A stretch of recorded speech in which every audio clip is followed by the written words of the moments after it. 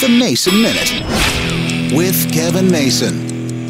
So I was watching the TV news the other night, and they were doing a story here in Nashville about distracted driving. And they had some state troopers out on a school bus searching for distracted drivers. Now, of course, when you think distracted driving, of course, now you think text messaging. But that's not the only thing they were looking for. They're looking for people paying attention to their radio, paying attention to their GPS. But what really got me bothered was one of my biggest pet peeves about distracted driving is people who were smoking. We were heading up to Indiana over the weekend, and I counted a half a dozen people driving down the road, not paying any attention to what was going on, with a cigarette dangling out the window. Distracted driving comes in a lot of different shapes, forms, and fashions. And to me, yes, text messaging is very dangerous. Sure, so is playing with your GPS, playing with your radio, and even smoking. The one thing they were saying, though, was they'll give you a ticket for a larger amount if you're distracted driving with your radio or your GPS versus text messaging. To me, distracted driving is distracted driving no matter what you're doing, and they should be treated the same.